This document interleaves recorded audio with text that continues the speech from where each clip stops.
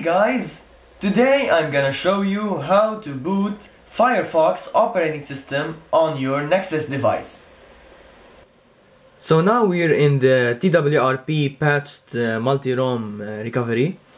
We're gonna flash these two files which is the FFOS home and uh, the FFOS uh, Ma uh, Mako.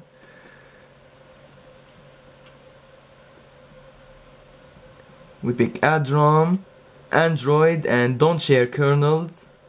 Next zip file and then we pick the FFOS Mako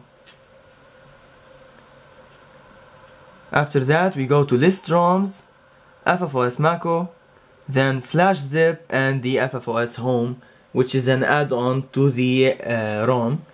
So you flash it uh, inside uh, the FFOS home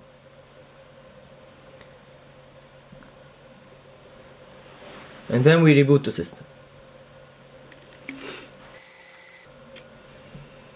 We pick FFOS Mako and then we wait.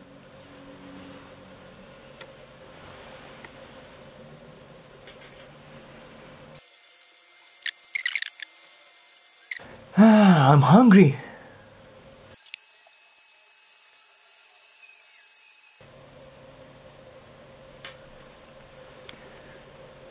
Two minutes. You have to wait two minutes for the Firefox operating system flash uh, splash screen to show up.